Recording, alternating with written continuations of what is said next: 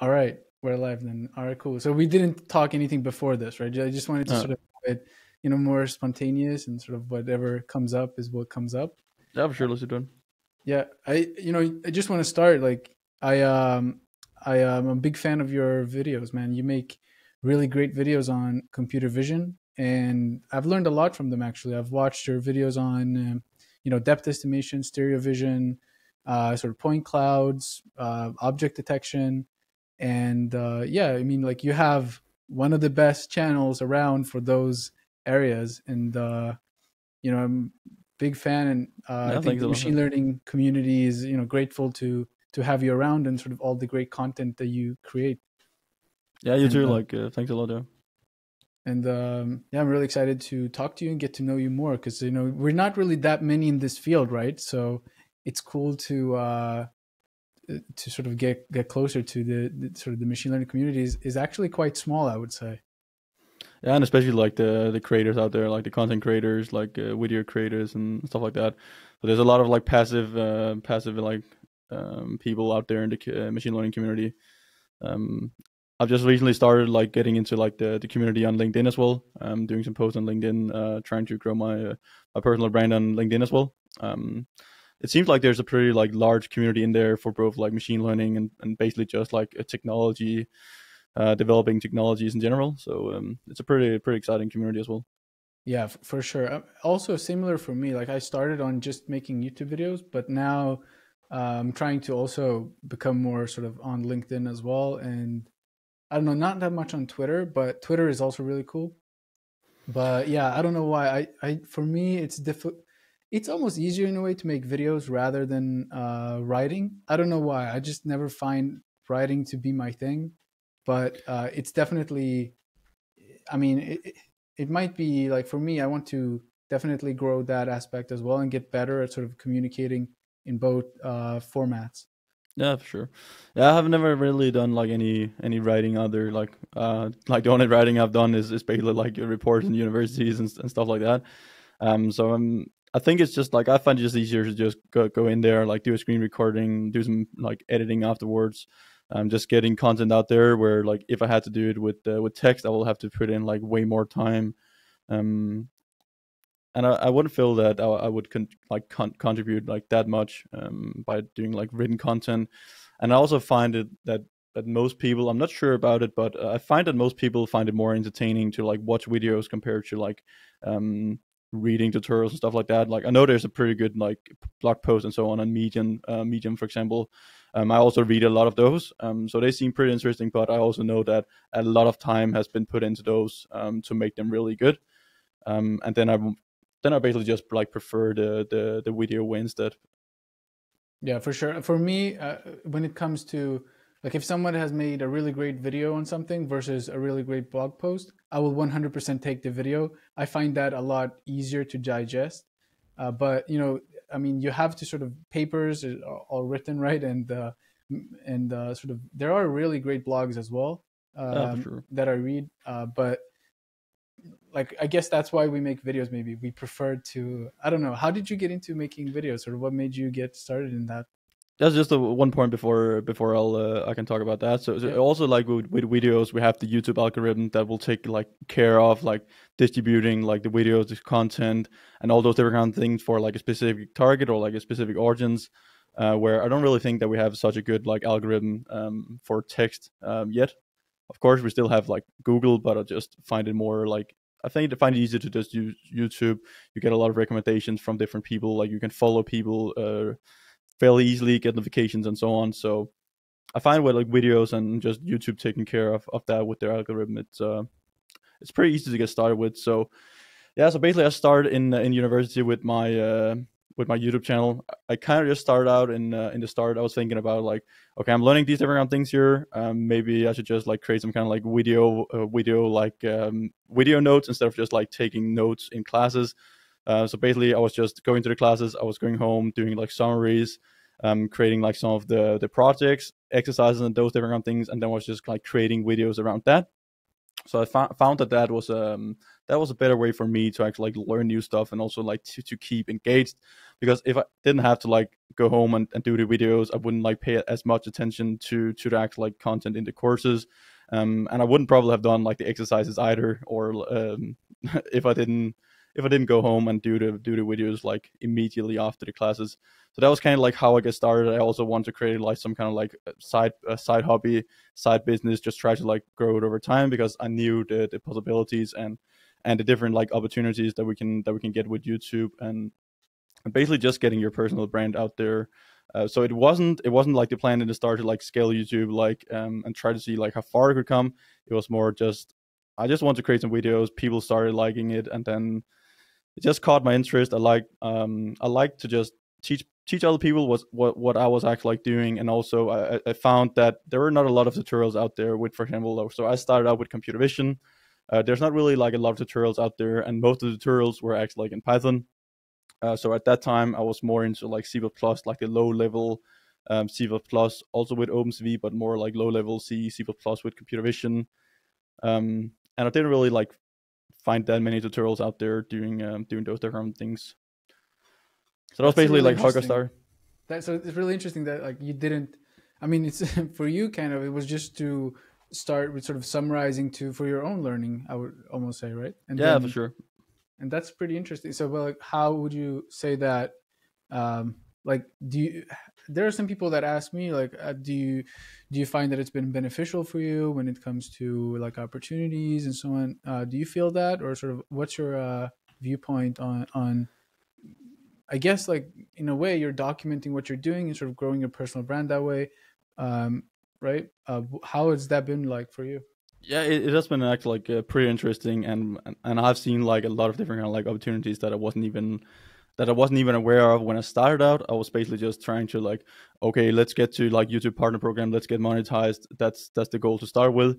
Um, let's get to 1,000 subscribers and and all those different things. It was just more like it was maybe just like a side business, like some kind of like hobby project. Um, I wanted to just like teach other people uh, what I learned use it to actually like just learn myself. Like when we're doing these YouTube videos, uh, we have to like do a lot of research. Like I'm scrolling LinkedIn, Twitter, and all those different things um, a lot, and also just YouTube to get like new ideas. So I'm, I'm also using it to stay up to date with uh, with new projects, new models, and and all those different things. So I think that is pretty beneficial as way as well, and it has made me like up to date on on a lot of different things that that I wouldn't have if I didn't have my YouTube channel and and all those different things.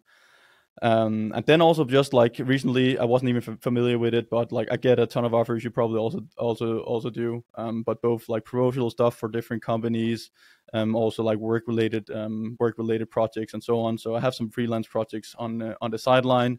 I also have some like full time positions um, offers through my YouTube. So like all of the offers that I get is basically like from my YouTube videos um, and my channel. And I wasn't even like I wasn't even considering that when I started out. I wasn't even considering just like one year ago. Um, but but once it's scaling, it's just it gives so many possibilities and opportunities that um, that I wasn't familiar with, and it just it just keeps me more motivated to actually like, create content. Um, and um, yeah, it's it's pretty nice. It's pretty nice, I would say. Would you say that for for other people that are sort of uh, maybe learning and want to sort of grow as well and sort of build a career in machine learning that this would be a, a, an advice you have for them maybe you know we talk now specifically for youtube but do you think there are other ways as well maybe on you know as we talk about linkedin um, and so on would you say that this is like a strong uh, advice you have it's a it's a really strong advice. Like if you don't want to like create videos, you can create like blog posts. If you don't want to show your face and stuff like that, um, you should like have your name out there somehow. Because I tend to say that, of course, like I have a I'm I'm based in Denmark. Like we have like 5.5 million uh, people here. Like it's a really small country. Um, if I wasn't like a personal brand out there, like my audience or like my target would basically just be like Denmark or like more specifically my own city. And then like for the whole world, I will pretty much be unknown. So I think it's pretty pretty good to like grow your personal brand in some way. You don't have to create like a YouTube channel, um, LinkedIn channel, or like probably just something like that. But just get out there, get your name out there. Like if you don't want to create anything, just create some GitHub. Like you can also create a GitHub where you can get like followers, uh, stars, like uh, just get something, just build something, get your portfolio, grow your personal brand in some way. Because again, like if you want to get out there, if you want to get a lot of good offers, like you have to be out there because like if you don't have anything on the internet, you will basically just be like unknown. Like people won't know that you even exist. So in my opinion, like it doesn't really matter like how good you are. Of course, like if you're good, you could have like the possibility of like getting a good position if you're applying for jobs and stuff like that. But I just find it easier to to grow my own brand, and then people come to me, um, and then I can basically like decide on my own. But again, you, you have to be out there. You're like you have to be visible for the world, or or else you will pretty much just be you'll be unknown, and the the opportunities and possibilities will be uh, will be limited for sure yeah also like the lowest i guess like lowest hanging fruit is to document on github right? Because i know there's a lot of people even that you know are studying and so on and they don't document uh, projects they're doing or so and so like when they graduate like they have like it, their github is basically empty and that's like the worst case scenario right? Because oh, then sure. like like how are you supposed to be able to showcase you know your skills and what you can do and sort of what you've been working on when it's only you know course related um, and, and so i think like as you're saying like to me i've been reflecting over this like if if somebody is starting out that i really like one of the key things i would say is to document what you're doing. And the, the format doesn't matter too much but you have to uh, do that not only for others to see but also for your own sake where honestly for me like i don't know half the projects i would have done if they would have been you know even half as good if if i didn't document it. Because like it's just taking it to another level when you know that others are going to be reading that watching that you want to make sure that their time is well spent because i know for you as well like if you get a lot of views in a video and the watch time is getting uh, you know you, uh, there are a lot that's a lot of human time and so i really try to spend you know the the uh, like the the best I can to make sure that that time is well spent by by the viewer, right? Like obviously you're gonna fail, but like doing that, it also increases the quality of your work. I would say. Um, and, and uh, do you feel that? Yeah, for sure. Like uh, you, you can actually just see how you're growing over time. So when I'm looking back on my first videos right now, even though like when you're doing tutorials and those different things, like even though you don't get really, you don't really get views in the start. Like some of the videos I had in the start, I was excited. I got 200 views or something like that. But okay, I got 200 views. But right now, like those videos are actually like my best performing videos because the YouTube algorithm just takes over. Yeah. Um, and some of my worst videos actually like have like uh, 50k uh, views, where I wouldn't even imagine that when I started out like two years ago. So um, so yeah, that that's that's actually like pretty pretty good. And also just to like go back and see, okay, how are you developing? Like how are you evolving over time, both like personally, uh, personal like the video uh, video quality, how are you doing things, and and those different things. So recently, I've been more focusing on like creating uh, better quality content because I get like more possibilities right now. Um, I have more free time to do so as well, and also just because you have to do that. Like you have to you have to keep um, evolving over time. You have to develop your your own. Um, you have to develop develop your own. But I think it's a pretty good way to to just track your progress, like track uh, track how good you're doing, and and just try to like be better for for every video. So like if people are starting out, you should just create a lot of content. Like in the start, you should just like focus on like uh, quantitative, uh, quantitative. Like you should just like put videos out there, and then over time you should focus more on quality. Um, but in the start, you just have to do it. You have to learn by like just doing the mistakes. Just create some content. Try to learn like video from video. If you're improving, improving like for each video, you like you will get really good content um, at the end. And even though you create like really bad videos in the start, they will still like it will, it will basically just grow over time and and even become your best videos as uh, as in my case. What do you think is the challenge for people? Uh, for because as I said, said in the beginning, there are not that many people that make videos. There are not that many people that have a blog. Even um, you know, it's talking sort of from uh, an overview of how many people are you know studying machine learning and so on. It's really really few, I would say. So how would you like? I mean, like what what do you think is the challenge for people to get started in doing that? Uh, and wh- how do you how do you like what, what was challenging for you? Was there any was it challenging for you to start making videos and so on? Um it, it kind of like i think the main reason is like it's basically like the same in in most areas. It is it is you just have to like act you just have to do something. Like i think people i think people are scared of like getting started because in the start you will be really bad. Like you're not going to be good at something like you do for the first time um, that's for sure but you just have to like keep evolving over time and even at the start I, I didn't want to tell like anyone that i was having like a youtube channel because Yeah. i knew that i was just getting laughed off Yeah. um i was uh, i was in the, i was in university like my videos were out there i was basically like creating um, i was basically like creating the content around the courses that i had so when people had to like read up for the exams or like some of the exercises they couldn't like finish or something like that uh, they were basically just getting up my videos and and they were just like saying oh you got a youtube channel you got there 400 subscribers or something like that. Um so it was it was kind of like cringe in the start. So in the start it will be very cringe. Like i didn't tell anyone. Um i probably i probably should have but also like it's not it's not like it's not really motivating to get like if people are laughing because you're like creating a YouTube channel or you now you want to be like a, a big YouTube star, star like you want to you travel the whole world uh, and all those different things. So Yeah. I think that's the hardest part. Like I think I think people people don't they don't want to get started because like people will just like they will just be like oh you're just you're not going to be like the next YouTube star. Um, I think that that is uh, you have like some kind of like cringing cringing factor at some point, but then like once you have some good quality content, you will just be like okay now at, at, a certain point you will just say like now it's not cringe anymore like now i'm actually like proud of what i've built um how far i've come and now it is giving me these these opportunities here um so like the people the people laughing at me with 400 like subscribers now they have to go out and find a job uh, where i can basically just choose whatever i want to do uh, with my own life um yeah. Yeah. i think uh, uh, that also i mean like i have you have to kind of reflect on what you're doing right? For me i sort of i could definitely relate to that sort of making Yeah. videos because i know as well like i did the same thing kind of like with courses. And then i think like people that studied with me would like watch the video that i created on the like at the same time as i'm taking the course. So like I mean, same. like, yeah, and then it's like, I mean, that's sort of what I can understand what you mean by like cringe because the, I don't know, people have this idea also of like people that make videos, they're supposed to be like some god or something. yeah like for sure it, it's it's all we're all people behind the screen, right? We are all sort of learning as we go, and some people, you know, just decide to document it. There's really not that much different, um, and so, but I can relate to you sort of having that uh, challenging sort of facing that uh, yeah for sure and, and you just have you just have to like uh you just have to like think about like the possibilities and and and the good things like the positive things that that um that you'll get from it. Like you just have to like keep on doing it.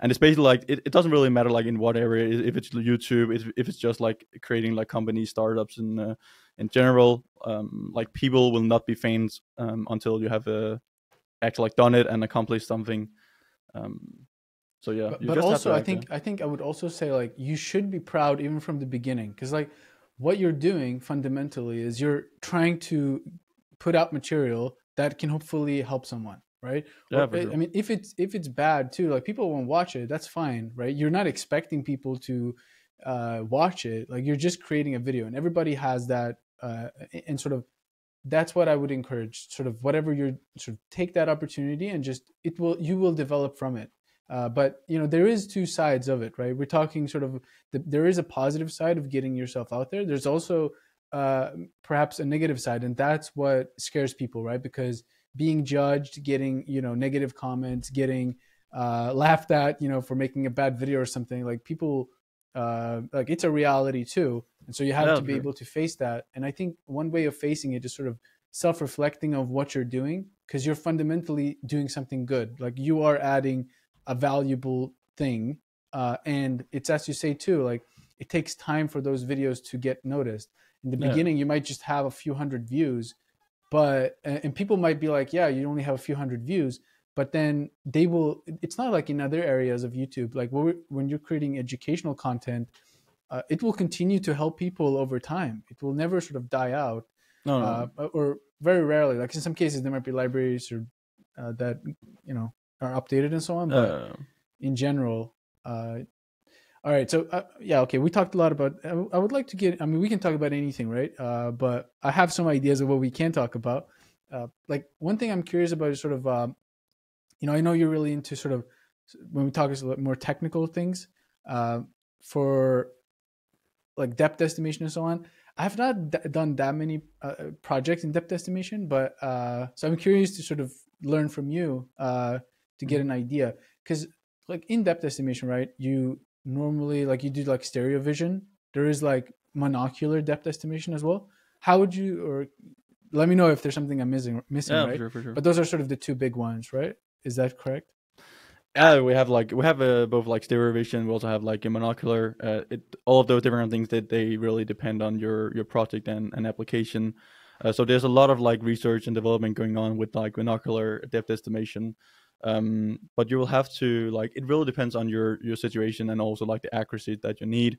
Um, so right now it is basically just like models trying to estimate. So if you're just talking like by, about like monocular, it's basically just like AI models trying to predict depth in the in the image. So it will it will only be like a relative depth um in the image. So you can't really just you can't really just use like a monocular camera to get like accurate depth in, if, information um in in the relative uh, or like in the absolute um in the absolute world um, then you will actually need some kind of like active sensing um, or um, a passive sensor like a, a stereo camera. Uh, there's a lot of development going on. Like there's some or a really reference good- point, maybe. Like if you have a reference in the in the uh, like environment, like if you know the distance to a particular point and you Yeah, have a relative. Yeah you, you you can you can do some kind of like that. You can do like then interpolation or like some something like that. Uh, you can have some reference points and you can maybe just like do like linear regression on those reference points but it requires you have like a static camera and like um the environment doesn't change that much because like if you have like for example let's say we have like monocular camera here um and then i have an object i'll just take it here. Like if you have an object here um, and then suddenly I want to like calculate the distance to this, and we have a reference to it because we will basically just get a depth value if I suddenly just have like an uh, some some other object, like for example my microphone here in front of it, then the depth value to this uh, like AirPods case here, it will actually like change, even though the distance to the camera hasn't changed because like it's all like relative. It tries to like estimate the depth based on like all the objects and and the actual like scene. Mm, okay. Um, so even though like the distance for, for these two objects are exactly the same from each other, depending on the scene or like where like what the camera can see, the depth value will actually like change. Uh, so it really depends on on your situation. You can also do, for example, like I, I know that Tesla uh, they're only using um, Tesla only using um, neural networks now to estimate depth as well. Uh, but they they, Okay. they do some they do some pretty they do some pretty nice things and they have also like trained their models on like for example like lidar to get the to get really good like depth accuracy um, with their networks. So those are more like specifically trained for a specific purpose where like the other ones we have like MiDaS and and some of the other depth estimation models uh they are basically just like general purpose. But it, it could be useful if you have like a static setup or if you just want to like have a robot driving around you can have like um, obstacle avoidance for example. So i've done some projects so with uh, with the monocular depth estimation for um, for obstacle avoidance because with obstacle avoidance we don't really we don't really care about like centimeter accuracy we just want to know like okay what objects are like close to us right. and then we can and then we can navigate the, the environment based on that Right. Okay, that's a really good sort of overview of monocular. Like m- that's my understanding as well. Is that monocular is Yeah. more for sort of when you like you, you don't get the precision right, and then you Yeah. have stereo vision for sort of for the actual, um, you know, ac- when you need accuracy, and then I think there are sort of but when it comes to that too, there are many things affecting. Like in stereo vision, you seem to have like more like deterministic algorithms, right? I don't know. I don't remember. Like you have like SIFT and like RANSAC, and then you have like you have what is it called? Like there's one. uh uh Is it like DLT, direct linear transform, or something? Like you do that you can get from stereo vision. Like, like it's able to deterministically find right depth. You don't need a neural network to do that, right? no, no for Uh, sure Yeah. It- it is basically just-? What- yeah so so like yeah so they have the we have these uh, we have these algorithms here like so so SIFT and those uh, things are basically like for extracting features um, in the frame because we want to extract like we have two two cameras like stereo camera we have two cameras we want to find the exact same points in both cameras and then we want to match those uh, because then we can look at like how does the pixel change like from one camera to the other camera um, and then we have what what's called a, like a disparity and then when we have our cameras calibrated we have like all the camera information as well um, and then we can then estimate the depth based on uh, on those two points like how different are they um, from camera to camera because we also know we know we know like all the information about the two cameras we know all the relations uh, for the two cameras. So Then we can use that information um, to both get like sparse depth values if we want to find like specific points with, for example, like uh, a feature extractor. Uh, then we can find like ex- uh, sparse points. We could also like have an object detector, finding objects. Then we use those points, match them into two images. So there are some algorithms for that. Um, I have some videos with that for like OpenCV, how you can how you can like uh, do. I think I followed that uh, video actually. Sparse and dense uh, yeah. depth estimation and then it, it will basically just be uh, be an algorithm like going over like all the pixels both like sparse pixel but also like just like full images um so you can both you can both do that if you have like um if you have like your own stereo camera setup right now there's also like a lot of good like stereo cameras out there that will just directly output um, a point cloud so like an rgb d, image so you have the rgb uh, rgb uh, R- rgb colors and then you also have a depth map um, and then you can basically just combine those into a point cloud. Um, so I've worked with some cameras, like for example, uh, RealSense, like Intel RealSense. Uh, they're not, not as good anymore, but uh, the ZED 2i is actually like a pretty good, uh, pretty good depth camera for a lot of applications. It's around like 450 bucks, but then you can actually get really, really accurate like depth values up to 20 meters. So they go all the way from like uh, 0.2 meters, um, so to like 20 centimeters up to 20 meters. Um, and getting depth accurate like depth values up to 20 meters is actually like uh, it's actually like pretty good. So so it's a very good camera. It's, and it's used in a lot of like robotics applications um, slam like uh, vslam applications and so on where you want to do like mapping and uh, and localization. So let's let's take a like a hypothetical scenario. If you just buy like two simple like logitech cameras and you put them on a on a stick and you know measure the distance between uh, them like what type of accuracy could you potentially get? And like what what are the limitations sort of when talking about the camera specifically? Uh, i know you have like focal length and all of that stuff. Like what's what's actually important for uh for getting accurate depth uh, or estimation? It would basically be like aligning the cameras and then like uh, and then the calibration of the cameras. So we need like really accurate um, calibration. So so we have the exact relation to the two cameras because like even if you're just like deviating like a couple pixels um, in each camera. Like let's say we have like for example a full HD camera and it deviate like just a couple of pixels, um, then like the depth values can be be totally off. Like probably like within like a couple of centimeters or or something like that. But uh, but but with us with us semi budget like stereo camera if you just put them up and uh, set them up together you can also buy some relative cheap um, stereo cameras you can you can get down to like centimeter accuracy and um, and that is that is suitable for like most applications where like if you want to like get higher accuracy or like longer accuracy it also depends on like how far do you actually want to to to to, to like be able to get the depth values uh, for um so that depends on like the baseline between the two cameras um so like the closer you have them together like the closer you will be able to see but the further you get away from the camera it will then be harder because then the changes um, then the change right. like the closer the two cameras are together um, the further away the object is, like the larger the changes for, per pixel value will be, and then like the less accurate, um, then the less uh, less accurate the depth values will be as well. Uh, right. So, so you, the baseline depends on yeah, it really depends on your application. Um, yeah. Okay, interesting. So let's see, just like an overview of of talking about depth estimation. Then, like you have okay, so you have like monocular, you have stereo vision. For stereo vision, you can have like different types of uh, setups, and you can use uh, like deterministic algorithms that you can sort of set the, the, the you know set it up differently depending on the use case and probably the camera might change also like what type of parameters you want to have. But when talking about sort of deep learning for depth estimation what uh, what sort of the uh, benefit of that or sort of what is the what is the uh, step towards deep learning based methods?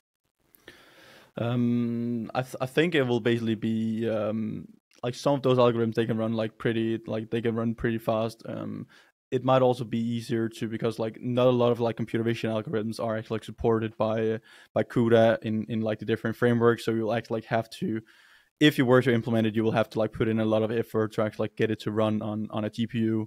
Um, of course, of course you can do it, but it, it is just easier to like have a deep learning model throw it onto the GPU because we have all these different kind of like optimized frameworks. Um, so it will be easier, but it will also be pretty good at like interpolating between the between the depth values. Um, and basically just like smoothen it more out like compared to if you have to do the other different kind of like algorithms then you will have to you'll have to do a lot of like intermediate steps. Um, so first of all, you have to like do camera calibration. Um, you will have to like do some post processing to the images, um, aligned images. So if you're like, even though you have like really good like you have aligned your images or like your cameras uh, pretty good. You will still go in and try to align them or like rectify them um, afterwards when you're calibrating your cameras and so on. So there's a lot of steps of act like doing depth estimation with computer vision and like stereo cameras compared to just like having deep learning models um, taking care of that.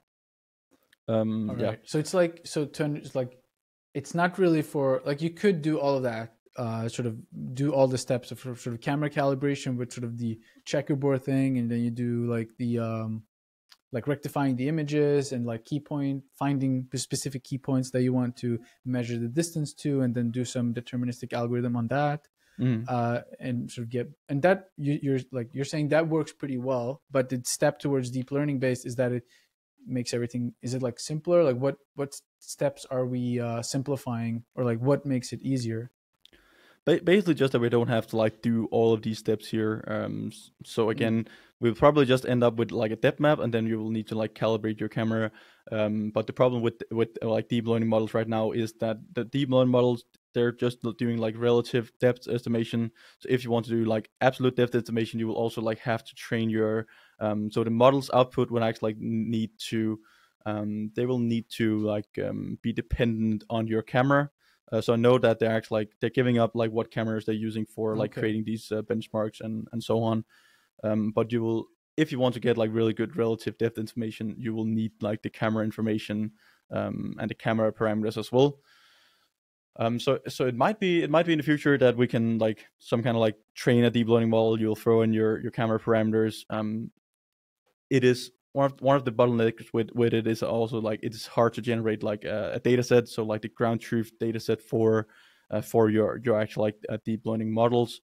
Um so i think that will be the hard part. Like the the, the easy part will basically just as in any other like deep learning uh, project the hard part is actually like getting the data set. Um once you have the data set it is fairly easy to work with. You just have like a model. You don't have to do like additional um, algorithms functions on top of it um, so I think it's a it's a trade off, and and uh, but I think there will be like a lot of research and, and development going on um, for for actually getting good depth estimation with the uh, with deep learning models as well. Yeah.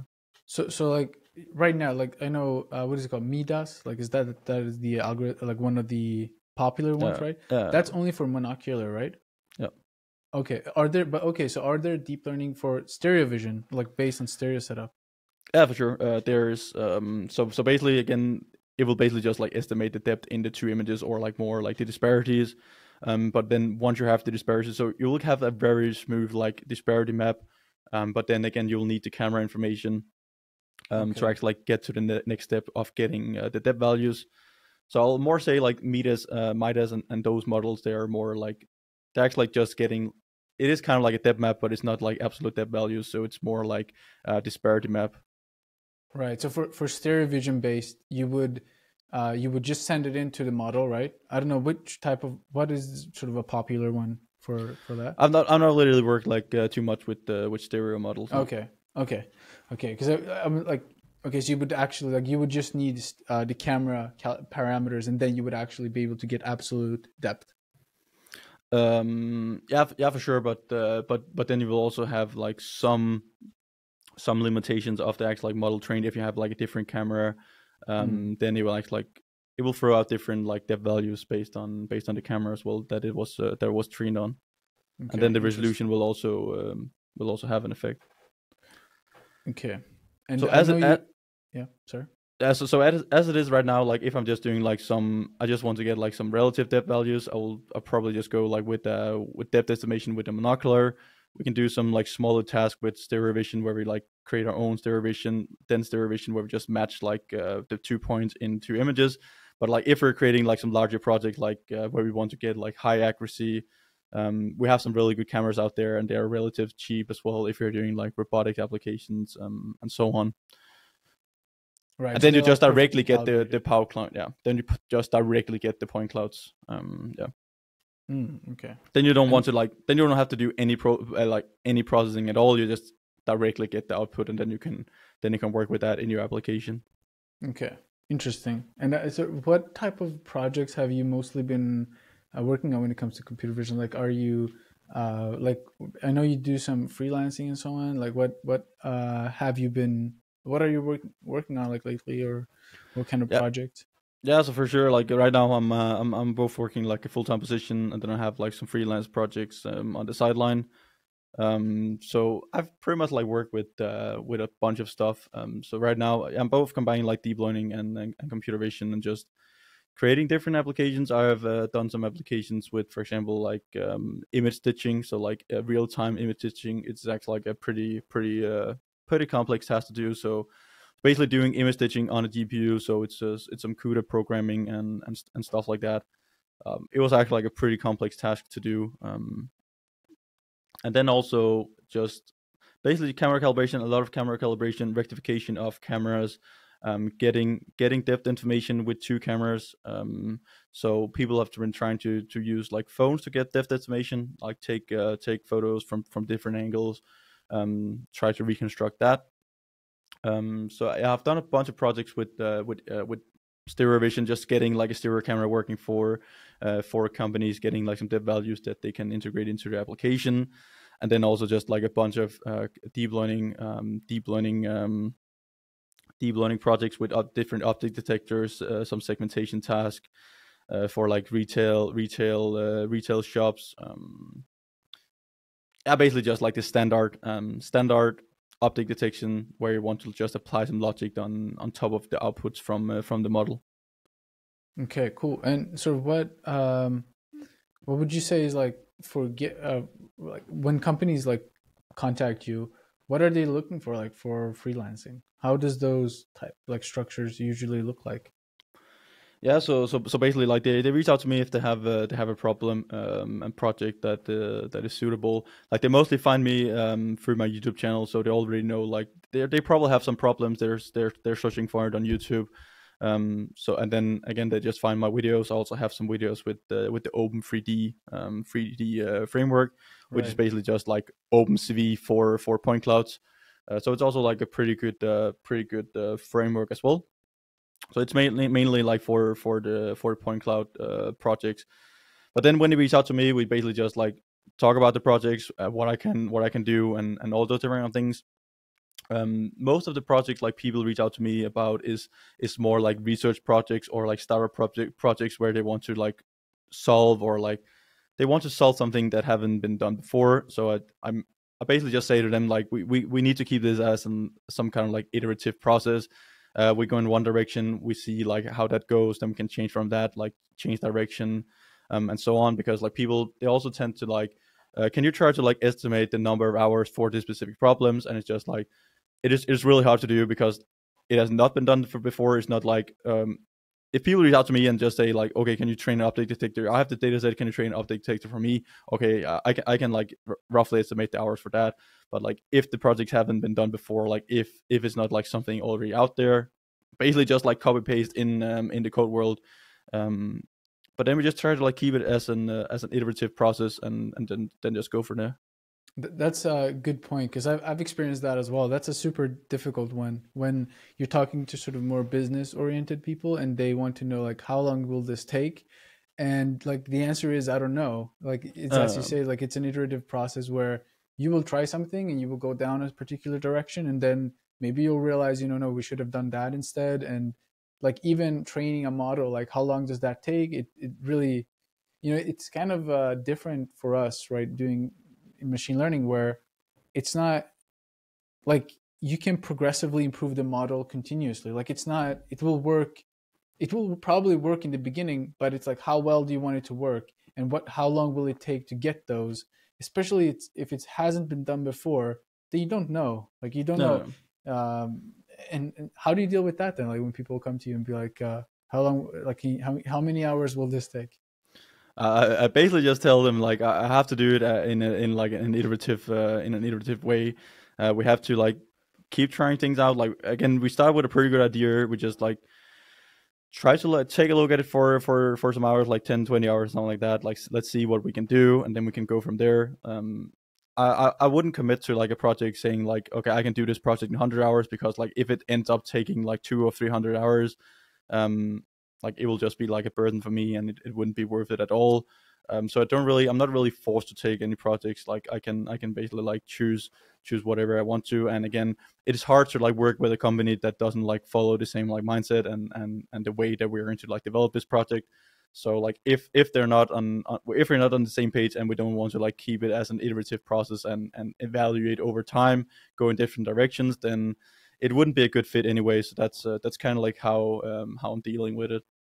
Yeah, I think that's the only way to deal with it because there's, I think like the the conflicting thing is that there are, you know, there are um, perhaps uh, other like why they I guess want to make sure like how long does it take is because they might do contracts with people and then like they they're like uh they like maybe they won't produce anything like they maybe uh, they'll just sort of waste time pretty much. Like so maybe that's why they want to perhaps make sure like how long will this take? So you can understand the concern but it's also pretty impossible uh and i think that when when it comes in like the um the trust factor that you know you're not someone that you know you want to do a good job or like you want to um like make sure that the project succeeds that's when it comes down that's what it also comes down to like making videos and all of that stuff is that you build that reputation for you know making quality work yeah for sure and also just like it's not like it's just like several hundred hours we start off with so they don't really lose much so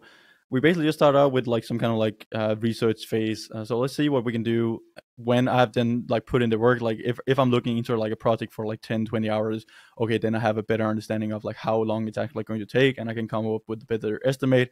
And if we just like end up with like after 10, 20 hours, okay, this is not possible or like it will just take like too long, I can't commit on this, then it's not like the end of the world that the company has to like pay me like for, for 10 or, or 15 hours. Um, and it's also good to like I think it's actually good, and and I don't think like people they put put in like too much investment into into the research dates. Um, so there's actually like a lot of times where people like companies they don't want to like they, of course they don't want to like uh, waste their money but again they don't want to like put in like okay let's say i want 20 hours for doing like some research about a project then they will rather like have me do research for like five hours and then work on the actual like project for 15 hours. But but what does that matter if i'm then working like 15 15 hours in the wrong direction? Uh, then it'll just be like a total waste in the end.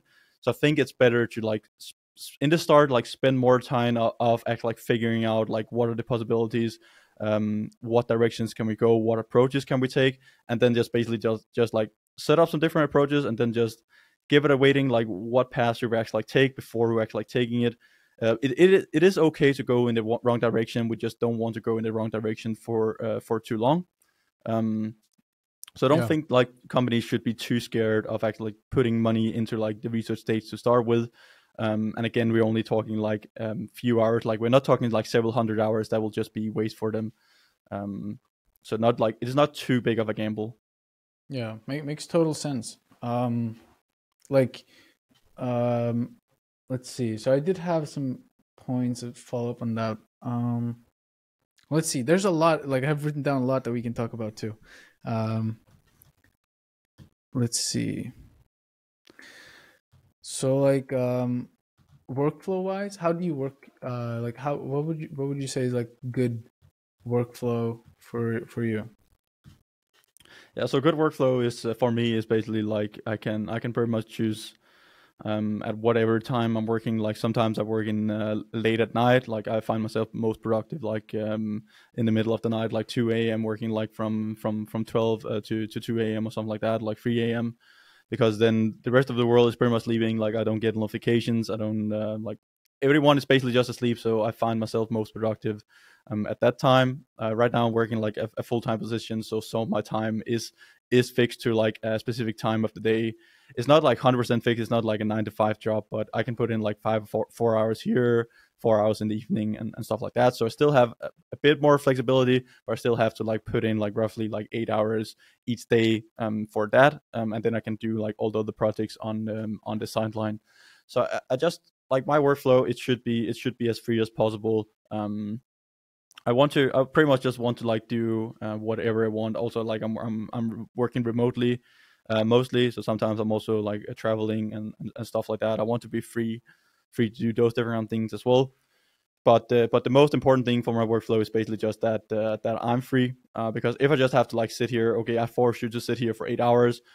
Mm, okay, I sit here, do some work for eight hours, but it's not a, a productive. If I was just like if I if I was basically just like choosing, okay, I'll do this in the evening, I'll spend three hours on it, I will be more productive. The company will get way more out of it compared to if they just force me to sit like for eight hours and then do this. Yeah, I totally agree. And for me, it's also a, a value thing where, like, being told like there are companies where you have like a you have like check in like you have like a tag you need to be here a particular time and you leave at a particular time uh, yeah. like that i mean that i mean it could be that that works well for many people having that structure but it's something that where for me like knowing that you have to do something uh, is just sort of i really enjoy the fact that people put faith on you or like put faith in like you can do the work and like your it's your responsibility to choose when you do it or like how you want to structure it and sort of like what matters in the end is getting getting things done right? It doesn't matter sort of exactly that you're like fixed to like a particular time that you have to sit here and like if you're like yeah well today i'm like super tired then there's it makes no sense to like if you're not productive that day no, it's better to just go with the like i don't know it's kind of um kind of i don't know how how has that been for you though? Like sort of when you have what do you do for sort of balancing? Sort of when you um, I don't know how you're working. Like for me, I like to go like really deep into work and that's all I think about. Let's sort of get absorbed in it, and then I get sort of tired of it, and then I do something else for a couple of days, and, and that's sort of my my workflow. Do you have more consistent workflow, or do you like how do you balance uh, working really hard and uh, sort of uh, taking time off? What do you do? Yeah, so, I, th- I think I have more like uh, I think I have more like uh, my work like for for each day. So um, it, it really depends. Like again, you can really be productive like eight hours a day. That's that's just uh, that's just impossible. I just try to like uh, I just try to like work whenever I feel like uh, feel like I'm I'm productive. I can also put in like work when I'm not productive. I just try to like I basically just try to to to figure out like okay, what are the most important things to do when I'm actually like in my productive zone or like in, when I have my productive time. If I'm editing videos, I, I can I can do like I can edit my videos after like I've been working like for 12 hours a day and that's not a problem because it's it's not like really that consuming. Um, so so it's, it's, also like when when people reach out to me, it, um, I also base like um, I also like base the cost on on how much like brain energy does it actually like, take for me, uh, because like I can do a job for like eight hours and then I can like then I can go home and do like all my things for like eight hours as well.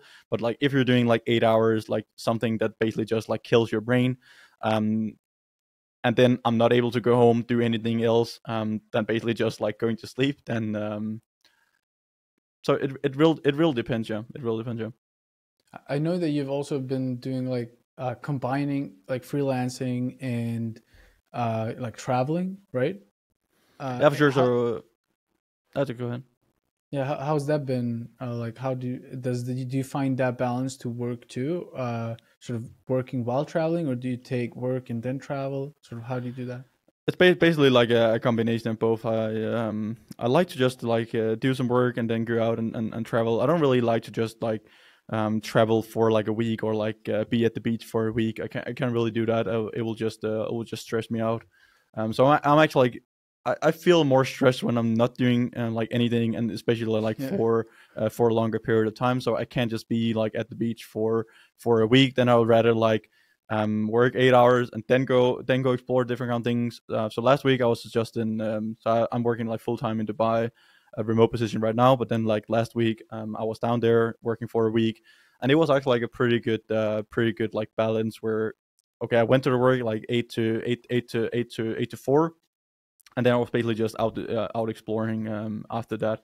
So I found that that was actually like a pretty good uh, pretty good balance. But um, okay, cool. the most yeah. important thing is to me that I balance like work and also just experiences. I can also go out and experience things like I can like I can go to whatever like I, I can do like i can go to like a amusement park or something like that but then i can still like okay if i get like a call uh, or like i have to answer a mail or um or like a message or something like that like i can still i can still do that okay i'm i'm out here i'll still just take up a phone um record a video or something like that so i try to just like balance it and it seems to work for me i can't really like i can't really just like okay right now I just shut my phone down. I won't answer anyone. Now I have my weekend.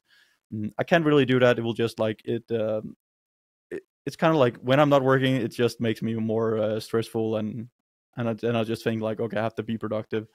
Um, yeah. Yeah, it's interesting that I think we share the same thing there because like if I do if I'm off like not doing anything for two days, then my brain is going to be like, "What are you doing? Like what uh, sure. what, what like what when are you going to start doing things? Like what's the next thing? Like what are you uh, wanting to do?"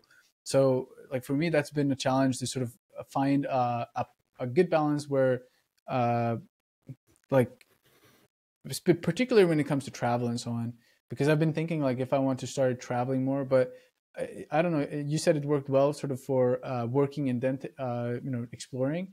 That would be sort of the I think the ideal. Uh, but for some reason, uh, it might I feel like it might be difficult to sort of uh, travel but still work. I don't know if I could be as productive when I'm not home. Like I, no, I no, enjoy no. having my setup and like everything. Yeah, for sure. Like yeah, I wasn't I wasn't like any anywhere like near uh, as productive as I would have been like um, at my own place. Okay. Um, not anything like near because I was basically like working from my from my from my laptop. It's just way harder than when you have like uh like multiple like monitors set up. You have your own chair, desk. You even have like your own keyboard uh, that you're used to. So I'm not used to like a laptop keyboard. You don't have your mouse and all those different things. Uh, so I was not like anything any like anywhere near productive as as I would have been um, at home. But I, I still think it's it's it's pretty good to like take a break like once in a while, um, and then still keep uh, like still be productive even though you're you're out uh, traveling and experiencing things. What do you do more? Like, do you do you find that like uh, the gym? Uh, I know. Also, by the way, a question. I saw like a short video you made, uh, or like a life as a as an engineer uh-huh. or something where yeah, uh, you had you had a dog. You st- like how does that work? Do you travel with the dog? Or no, no, I, I don't. I don't know. Oh. Okay. Oh, that's uh, that's that's too hard. Yeah. Yeah. Okay. I don't really like to do that. Yeah. But yeah, I, I do a lot of uh, I do a lot of different things. Like I also like to go to the gym. I'm doing some doing some sport, like going out with friends and, and stuff like that. And then it's just like like it, it is enough free time for me to like go to the gym like for two hours a day and then i can work like 12 or 14 hours uh, or something like that or like go out with friends in the evening after like working the whole day i, I pretty i pretty much just feel like that is the perfect day for me um so uh so it's not really like a burden burden for me to do actual like work i really like it it's both my work but also my um it's it's actually like my hobbies um like doing these projects like freelance work, creating YouTube content, and and all those different things. Yeah. So it's a pretty good like it's a pretty good balance of of all the things. Um, so that's also really important to to keep in mind, and also why I think like most people, like people, they should they should they should basically do what whatever they want to do. Like I know a lot of people they go to go to their job, they they do their work, but they don't really want to do it. They they just do it because they have to. Um, and i just think like the earlier you start to think in in, in like that way of you want to give yourself more freedom um like the faster you will just achieve it. And if you don't try to do anything towards that like you will never you, know, like, you will never achieve it unless you uh unless you win the lottery or something like that. Um yeah, so i yeah, think that I is agree, a that is pretty good as well yeah. I can totally relate to that. I feel like there are i mean like you spend so much time on your work right regardless of what you do. I feel like it it doesn't make any sense to do something other than what you really love like what you really like to do. But it is a difficult uh, topic. Like for me when i was uh, starting to study i was like what what i want to get into? And you know it's a confusing phase. Like you don't know. There are so many different things uh, that you could go into. Like for me i was like do i want to get into this area or this? And you know to me machine learning didn't even exist like in my brain like it did i didn't know about it um uh let's see all right. So, like for me, that was difficult. Uh, and to me, I don't know. Have you read like Cal Newport books on like deep work and? Uh... Yeah, I've read, I've read those. Yeah. Okay. Yeah. I did I did some reading like uh, in the past. I haven't really done it uh, too much lately. I, I want to get into that as well, but again, but uh, I've been a bit busy here uh, the last couple of months. But I definitely want to get into reading again. It's also it's also pretty nice and it gives you some some really nice perspectives and and also some tips and tricks for for your life and and how to get into this mindset here and act like try to to improve your uh, improve your life. Like you have to put in the work like you have to put in the effort to start with like you can't just you can't achieve anything before you have actually like, put in the work. In the start like i created my first like 100 or like 150 videos on youtube uh, basically without like earning anything. Um and again right now it, it's not because like i'm making like a huge amount of, of, of money on the act like uh, ads from google or like from youtube it's more like all the other different kind of like things from the sideline that that it gives you um, i'm also like creating some courses and stuff like that um, I started to create some courses like uh, five, like three, four, five months ago. They actually like make me more money now than than my actual like, YouTube channel. So um, okay, it gives you a lot of possibilities that you can that you can branch out to. Um, and monetize in different ways. So uh, right, yeah, I know you. Yeah, I, I uh, I've actually never uh, done a course. Like all I've done has been on YouTube. What would you say that has been like? Is that uh, like because I guess like you may you can spend more time on it because you know it's gonna give uh, like a return or like how do you how do you find that uh, doing courses? Um, yeah, so so one thing is that I, I know that over time it will make me more money. Again, when you're creating course, you will not get instantly paid for uh, for what you for your project like have. But right now, I'm creating I'm I'm creating some courses, and they actually like they do they do pretty well um, after like even like a couple of months, and it's just like okay, I'm spending the time now. Let's say I'm spending like 50, 100 hours on the course. Then I know that, okay, I want to make the money now, but like over time, maybe like after even like a year or like half a year, um, the time I spend on those courses, they are already, they like, they have already like, uh, they're already doing pretty fine. Um, and then once I've created a course, like to, so one of the mo- one of the most important things to think about as well is that you just have to create it once. Like you just have to create the videos once, the courses once, pretty much just like all of the content, and then you can just like sell it. It will be there for like for the whole lifetime as long as YouTube is there, for, um, of course, and the internet. Um, but I can't like imagine like a feature if you're just looking yeah. like t- 10, 20 years out there and YouTube and, and Google and all those different kind of things um, not being here. Uh, so it will be out there for a, a, very long time and only had to like put in the effort once compared to like doing some other jobs where you ba- you basically get paid for uh, the time you're spending on it. But here I'm more like I'm not really getting paid for my time. I'm I'm getting paid for uh, for my knowledge and um, and the content that I'm putting out there. And what platforms do you have your own platform, like your own website, or do you Udemy, or like what, or like how? I don't know how this works. Like, I know you have Coursera. That's usually like, and then Udemy and. Uh, there's um, something called uh, Teachable. Um, I was I basically just went to Google and found the found like the easiest way. It's they have some pretty good structures for setting up courses um like pretty good customizations as well like they take care care of everything i basically just have to like upload the videos um and do some customizations to the sale page and and uh yeah and and, and set up like the front page and, and, and stuff like that so i basically just used like what was on the on the top of google i just uh i just wanted to get started and uh, and try it out yeah, because it. I mean, it makes sense. Like, uh, like the amount of time I've spent making videos and the return I've made on monetization. It's like that is not worth it. You know. Oh no, for sure, for sure. No.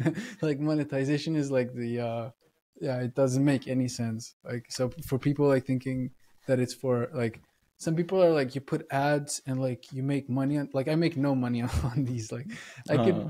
I mean it's like so little I could almost like dis- disable it, but it's like just barely worth it to keep it. Yeah, so. sure. but uh, all right, so let's see. Uh, what are you? Yeah, so I'm curious. Like, what are your goals for the future? Like, we talked about sort of freelancing. Uh, would you like to work at a big company or like a startup? Would you create your own startup, or do you find freelancing to be a, a good fit? Uh, it basically like depends again. Uh, right now I'm working like full time. I have a full time position, and then I have like freelance work besides that. Right, um, right. I don't think I want to like uh, work for like uh, for like a large organization. It it, it really depends like a large large like uh, corporation or something like that. Uh, because then you're really like limited. You will basically like only work on specific things. Where like in startups or like in smaller companies, uh, you have like way more areas that you uh, that you can do stuff in. Um, so I'm more like that kind of a person. I, I, I do more like like getting in new projects. Like I can't imagine myself just working on the same thing for like the next two or three years unless it is something like that I'm a part of or like it is a part of something bigger. So like I could imagine myself like for example like working for for like Tesla, Neuralink or or something like that. Like if I'm just like throwing it out there. Uh, but those are also like like like some of the few ones that I would actually like consider um, even though it, it probably won't be like a, like a possibility anyway. Um, but then I'll rather just have like some start. I'm also like part of some startups right now. Uh, we're doing some some pretty cool things. Um, so I, I, have a lot of things going on. I really like it. Uh, I like to to to do a lot of different things. Um, get a new project once in a while um, instead of just working on the same thing. What do you think of a PhD? Is that something that would be interesting? Oh, never. so I I don't really like here in my masters. I haven't really like uh, so on the masters. Uh, I didn't really go to like university classes. So I was taking a robotics degree. Um, I'm a robotic engineer. Um, I took my bachelor. After my bachelor, started my YouTube channel, and then I um I didn't really go to like so I got interested after like I'm not really into robotics that much anymore. More like I am, but like more with like uh, cameras and, and, stuff like that, um, and production uh, settings. Um, but then we got into like computer vision, like uh, computer vision, AI, and all those kind of things. And then I, I basically just branched into that instead of uh, instead of robotics. Uh, we had a lot of like introduction to AI and computer vision on uh, on the masters. Uh, but then from the YouTube, I was actually like just already doing like research. I was also also like I was creating projects. I was also like I was already like doing the research, uh, reading papers, like looking up like machine learning models, architectures, how can train models, and all those kind of things. So the things that was I was I was already working on, we just like started with that in the courses. Uh, so I, really, I didn't really have to like attend the course uh, like the courses or like the classes um, on my masters. Um, so and and right now like I, I, w- I won't really like do like a PhD because one thing one thing is the money, uh, another thing is like the freedom, and also um, you'll be like I've never, I've never like, I've never even like thought about it. Um, it's just like a no go for me. I don't really, I don't really, I'm not really into like the academics uh, setting. I'm, I'm more like, uh, I want to get something out in the in the real world and. Interesting. Yeah, I, works, yeah. I can relate to that. Like I'm, I uh, think I feel the same way. Like I was reflecting on like doing a, a PhD potentially, but you know there are um, like like okay so like for me like i did my bachelor's and that's actually when i started making videos like after my bachelor's mm. and you know i'm uh, i didn't really feel qualified to make videos but like apparently i was right i was people watch them and find them useful uh, but then sort of I, I thought you know uh, really I, uh, I should do i should take a master's because that's you know that will i will learn so much from a master's. Like there's there's so much knowledge that i don't know. Like i should i should do that. And uh, you know honestly like now i am almost like this like in just a couple of months like i'm i've completed my masters. And honestly i kind of regret taking like i honestly feel like i've learned more doing personal projects and like on my own than than than sort of the degree itself but on the other hand like society tells you like you need to have a like you should have a degree or like otherwise like you're doing some some nonsense and I guess I listened to that because that's where sort of why I decided to take a master's.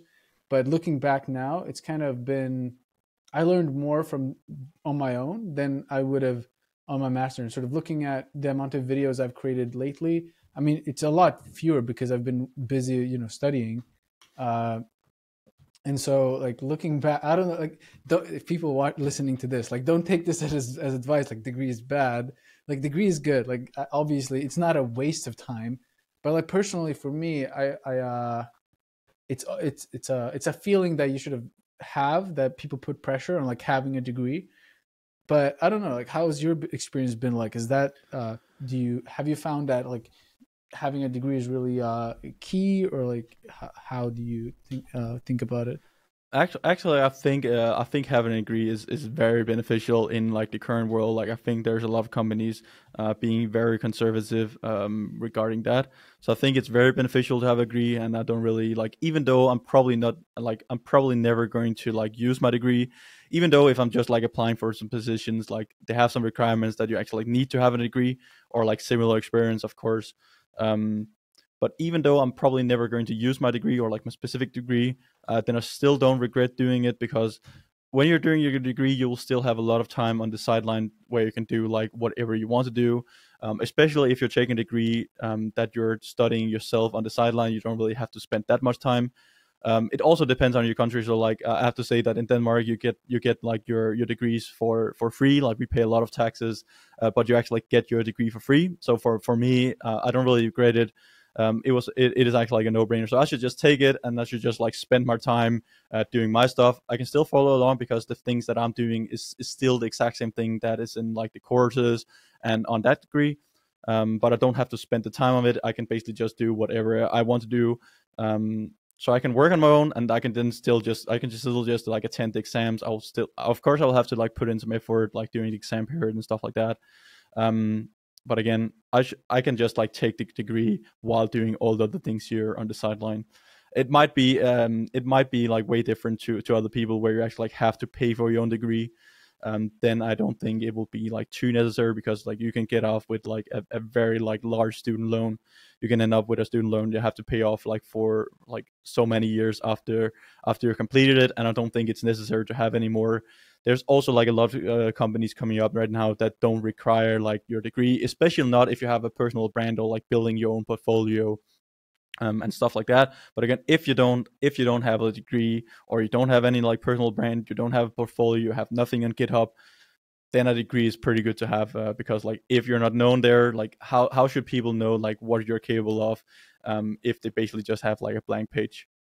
Yeah i i, I think you're right. Like I, you, like it, it is really beneficial to have and it, it says for me too i'm from sweden. So like in sweden there are uh university is free. So it makes sense to like to like oh. do it uh but learning wise sort of time well in well spent uh yeah uh but i agree like if you apply you're gonna have to showcase either you're gonna have to have a really strong personal brand or you're gonna have like the degree to back you up um all right, so cool to get your thoughts on that. Um, yeah, I think we're sort of uh, wrapping up a little bit. Uh, yeah, sure. We've been we've been talking for over an hour now.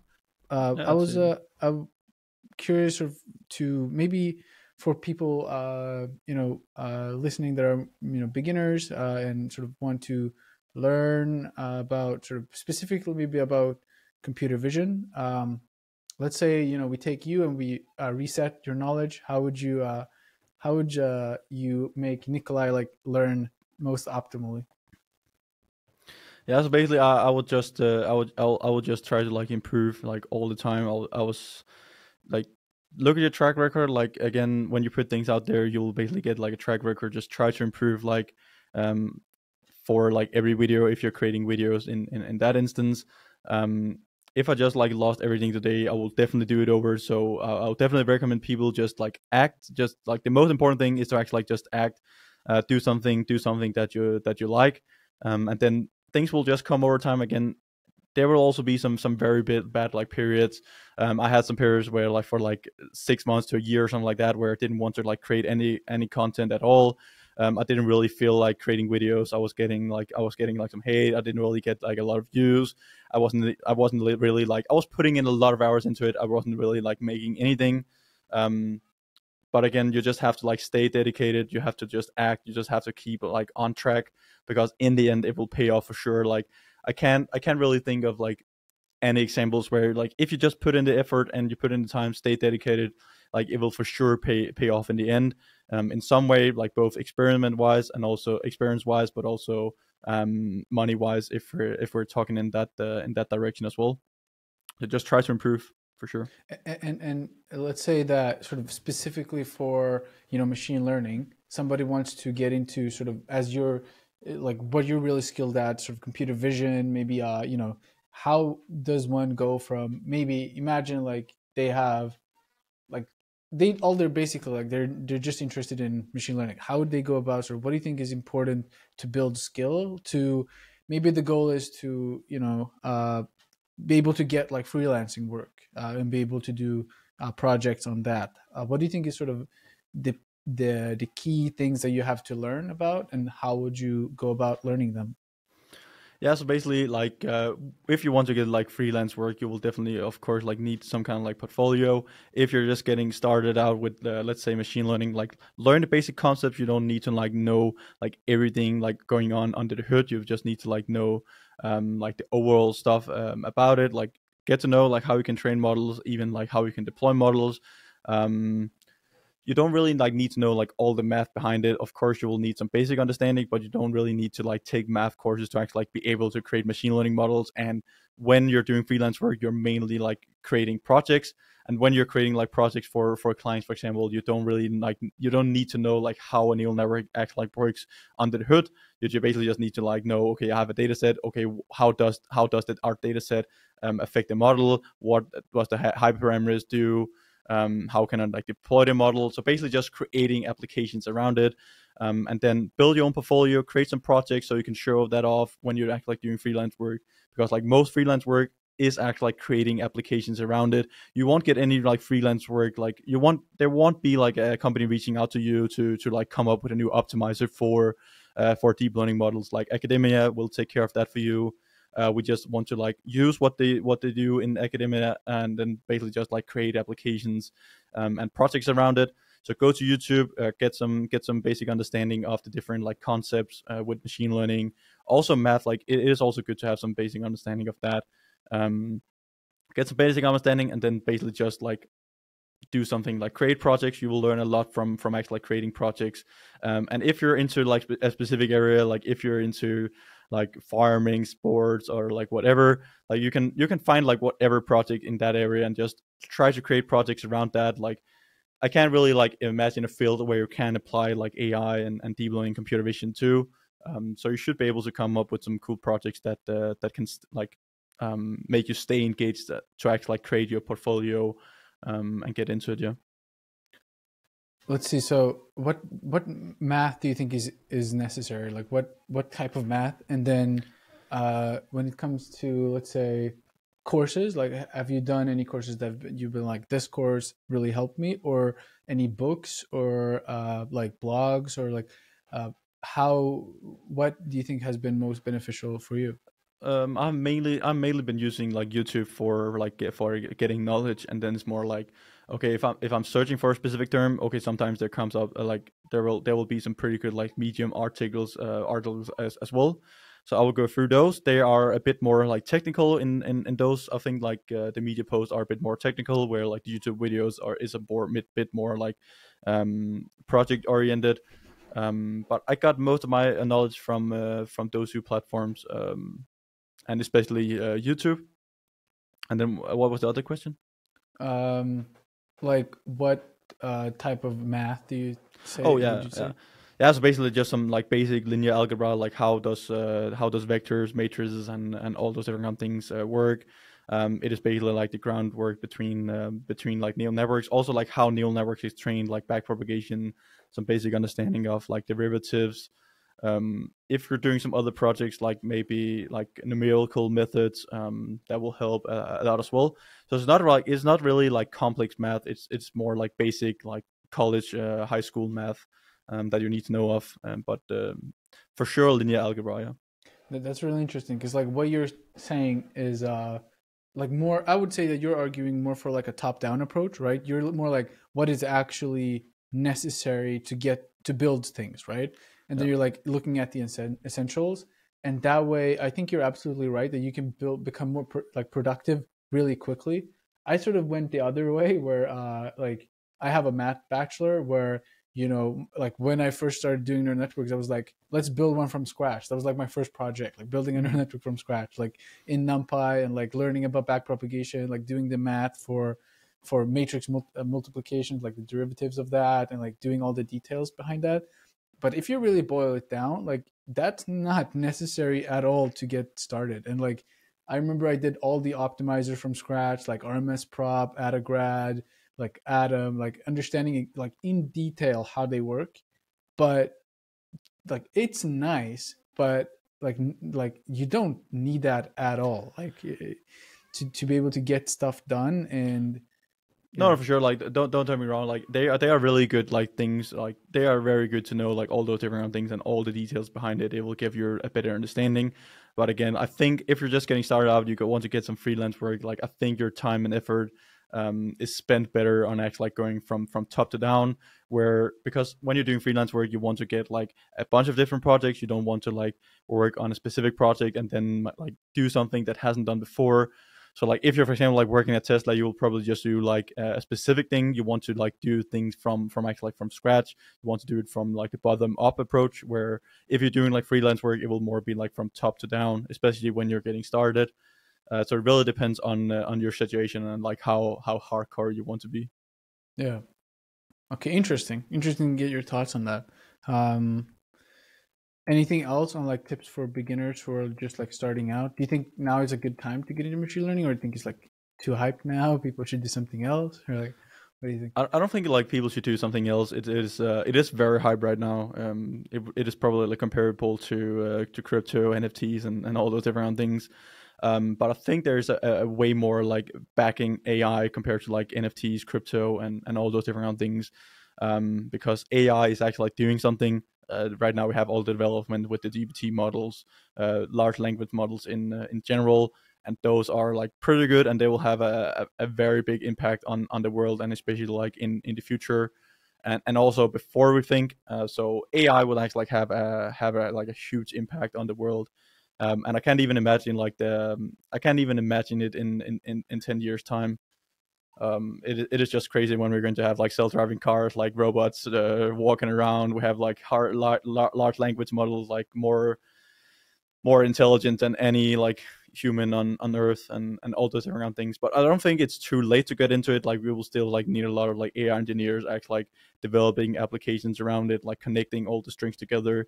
Um, i know we can have like the large language models act like generating the code but as it is right now we still need to like connect all the nodes in the future the ais will will definitely like be able to do that um but again um before we're into getting to that stage I, I think that like other like jobs or like other areas are automated before uh, AI engineers and machine learning engineers are are uh, not necessary anymore.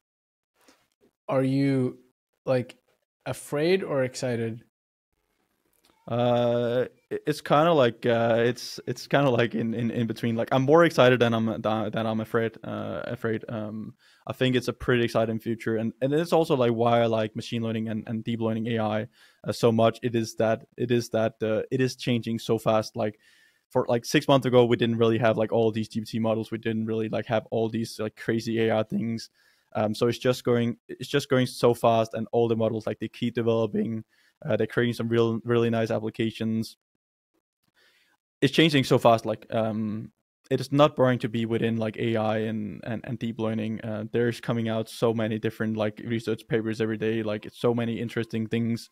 Um, so if you're like AI engineer or like machine learning engineer, it will never it will never be boring for sure. Um, yeah, then I, it's your I own fault. yeah, yeah, it's gonna be a fun ride, man.